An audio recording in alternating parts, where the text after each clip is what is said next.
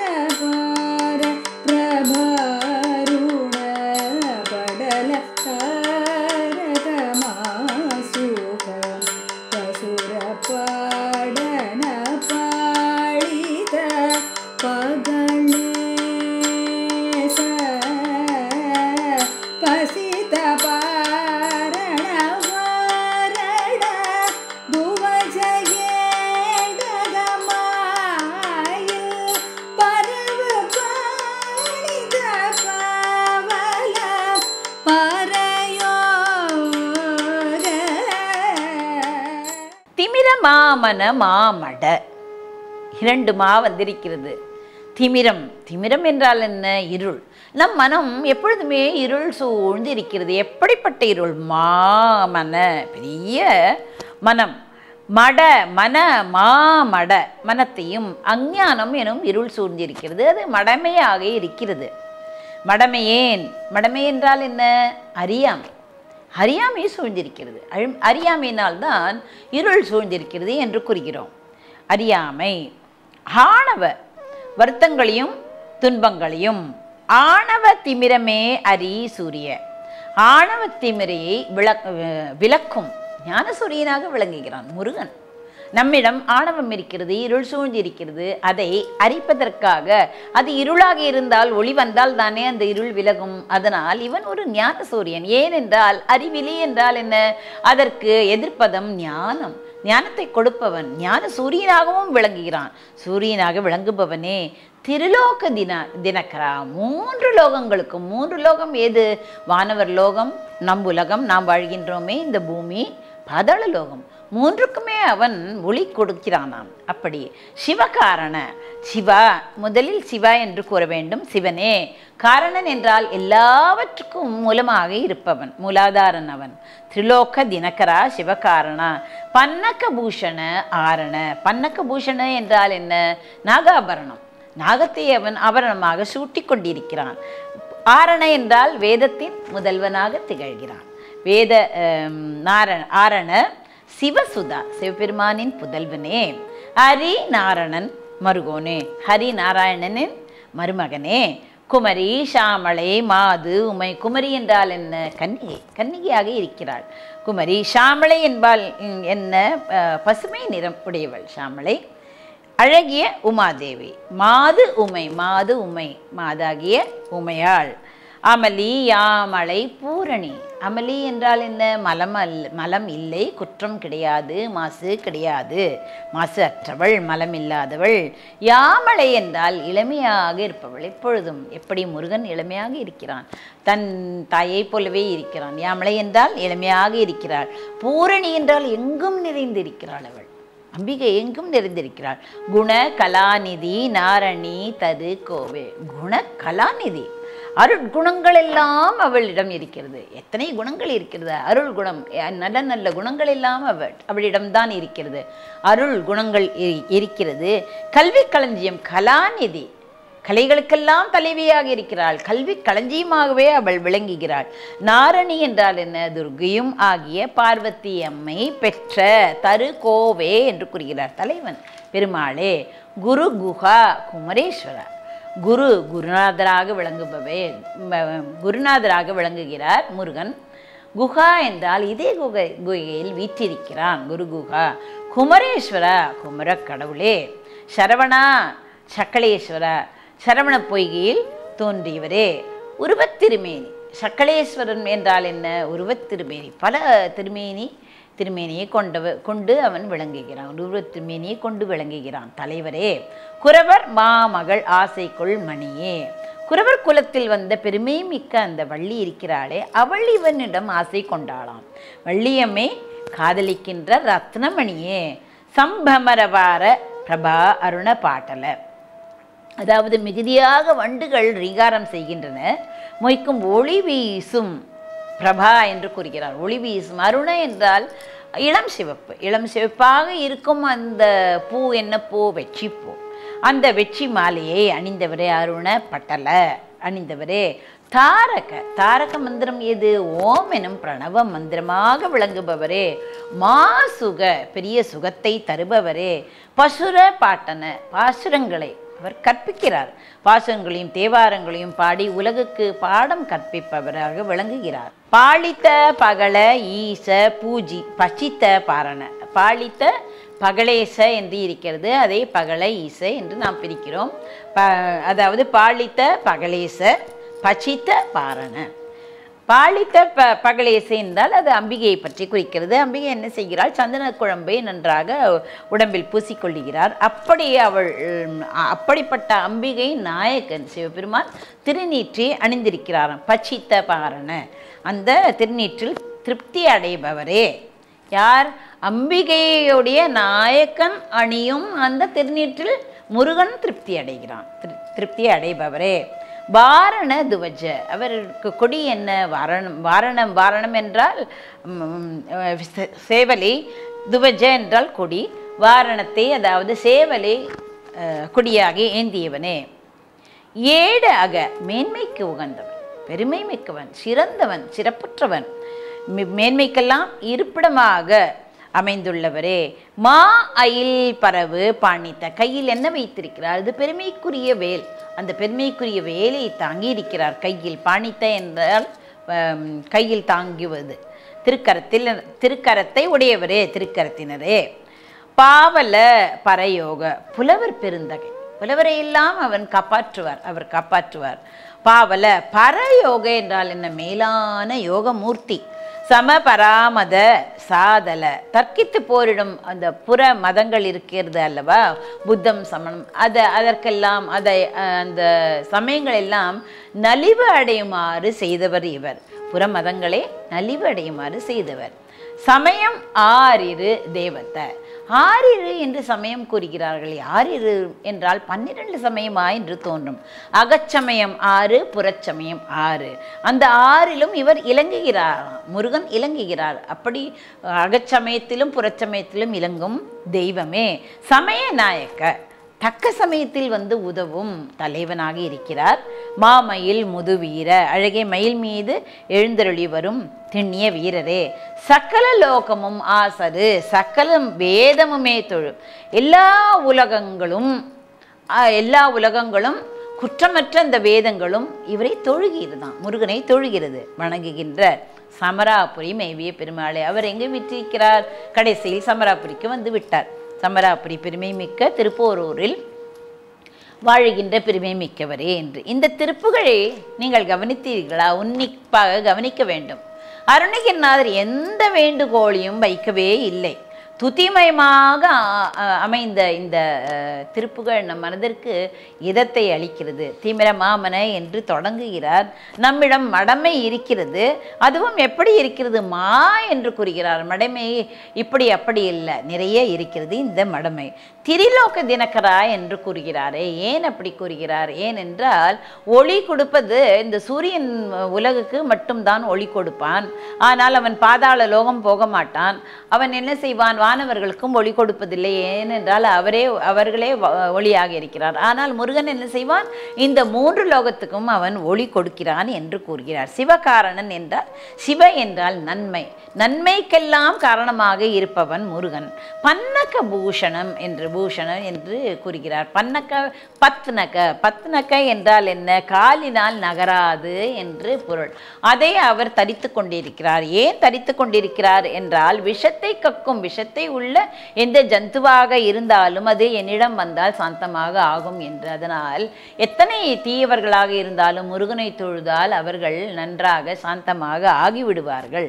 அதை குறிக்கிறது. கலாநிதி என்று அம்பிகையை விடுக்கிறார். உமாதேவி கலைகளுக்கெல்லாம் தலைவியாக விளங்குகிறார் என்பதை கூறுகிறது. அதனால்தான் உமாதேவி அதாவது அம்பிகை அருணகிரிநாதருக்கு அருளினார் அபிராம பட்டருக்கு அருளினார். இப்படி தன்னுடைய கடாட்சத்தை காளமேக புலவருக்கு அருளினார். அது நமக்கு தெரியும். எப்படி தாம்பூலம் மூலமாக அவருக்கு அருளினார் என்று தெரியும். திருவரங்கத்து கோவிலில் சமையல் செய் செய்து செய்து கொண்டிருந்தார். வரதன் என்று ஒரு வைஷ்ணவர் அந்த வரதன் என்ன செய்தார்? அவருக்கு ஒரு திருவானைக்காவில் சிவத்தொண்டு செய்து கொண்டு வந்த கோ மோகனாங்கி என்பவரிடம் காதலாக இருந்தது. அதனால் இவர் என்ன செய்வார்? இவர் போகும் பொழுது மோகனாகியை அழைத்து கொண்டு போவார் திருவானைக்காவிற்கு போவார். அங்கு போனால் அங்கு என்ன ஆயிற்று? இவருக்கு உறக்கம் வந்து விட்டது. அதனால் அந்த திருவரங்க திருவானைக்காவில் திருவரங்கத்தில் இவர் இருக்கிறார். திருவானைக்காவில் சென்றார். அங்கு உறக்கம் வந்துவிட்டது இரவு நேரம் ஆகிவிட்டது. அப்படியே கோவில் உள் அவர் தூங்கிவிட்டார். அங்கு அந்த அதிகாரிகள் கதவை பூட்டி கொண்டு போய்விட்டார்கள். அப்பொழுது மற்றொரு பக்கத்தில் ஒரு அந்தணன் படுத்து கொண்டிருந்தான். அவன் சரஸ்வதியை நோக்கி எனக்கு அறிவு வேண்டும் எனக்கு புலமை வேண்டும் என்று அவன் தவம் இருந்தான்.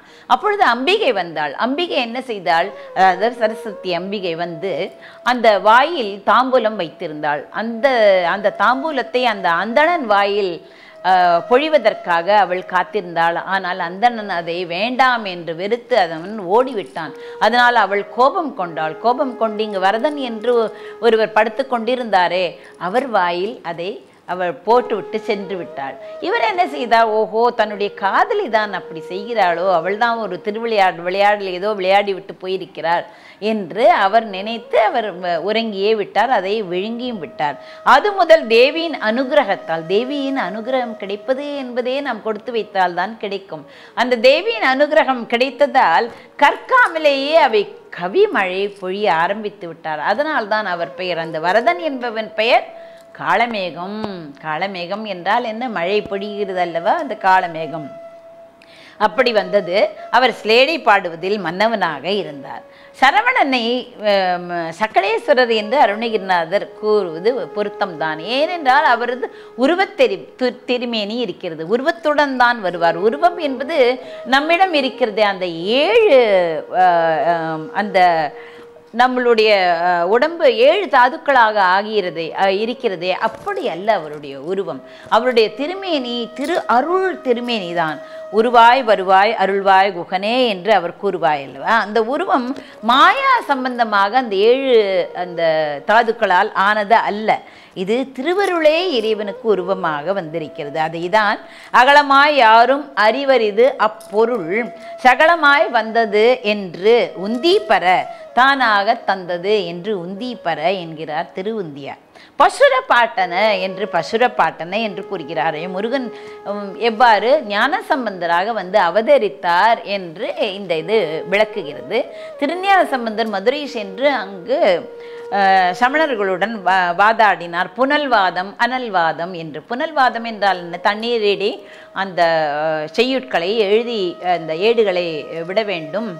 அது எதிராறு சென்று ஆற்றுக்கு எதிராக சென்று ஒரு இடத்தில் போய் தங்கிவிடும். அப்படி செய்- அது எ- என்ன எழுதி போட்டார் தெரியுமா? வாழ்க அந்தனர் என்று தொடங்கும் திருப்பதிகத்தை எழுதினார். அதற்குத்தான் திருப்பாசுரம் என்று பெயர். அந்த திருப்பாசுரமே அன்றும் இன்றும் எல்லார் மனத்திலும் நிரம்பி இருக்கிறது. திருப்பாசுரம் பாடியதால் என்ன ஆயிற்று சைவம் தழைத்து ஓங்கியது. அருணகிரிநாத சுவாமிகள் திருஞான சம்பந்தருடைய தேவார பாக்களை உணர்ந்து அதன் வழி நின்றவர். அந்த அனல்வாதத்தில் இட்ட திருநள்ளாற்று பதிகமான போகமார்த்த பூன்முலையாள் என்ற ஏடு பசுமையாக எரியாமல் நின்றது. இந்த ஏட்டினில் எழுதிய அந்த செந்தமிழ் பாட்டு அந்த அந்த பாடல் இருந்ததனால் அந்த ஏடு பசுமையாகவே இருந்தது தீயில் இட்டது அது பெரிய புராணமும் இதை பற்றி கூறுகிறது. கனலில் வேகாது அதை பச்சையாகவே இருக்கச் செய்த திருவிளையாடல் திருநள்ளாற்றில் நடந்தது. திருநள்ளாற்றில் பச்சை நாயக்கின் திருவருளால் தான் நடந்தது. இதை மனதில் வைத்துக்கொண்டு அருணகிரிநாதர் சுவாமிகளும் திருநள்ளாற்று பாடல் பாடியிருக்கிறார் பச்சை ஒன்கிரி என்று ஆரம்பித்திருக்கிறார். பச்சை ஒன்கிரி என்று ஆரம்பித்து அதாவது இந்த அம்மை எப்படி இவர் பச்சை என்று பச்சை நாயக்கியின் திருவருளால் வந்ததனால் பச்சையொன்கிரி என்று ஆரம்பித்து பிறகு அந்த அம்மையை பற்றி பச்சையொன்கிரி என்று ஆரம்பித்து இச்சை அந்தரி பார்வதி மோகினி தத்தை பொன்கவின் ஆளிலை போல் வயிறு இற்பசும் கிணியான மின்னூலிடே அபிராமி எக்குலம் குடிலோடு உலகாவையும் இற்பதிந்து இருநாழி நெலால் அறம் எப்போதும் பகிர்வாள் குமரா என உருகேனோ என்று கூறுகிறார். பகலேச என்றால் பகலா என்பது ஒரு சக்தி. அந்த சக்தியை நாம் அந்த பகலா என்று கூறினாலே நமக்கு எல்லா நன்மைகளும் கிடைத்துவிடும் என்று அவர் கூறுகிறார். பச்சித்த என்றால் பஜித்த என்பது பச்சித்த என்று ஆகிறது. பஜித்தல் துதித்தல்.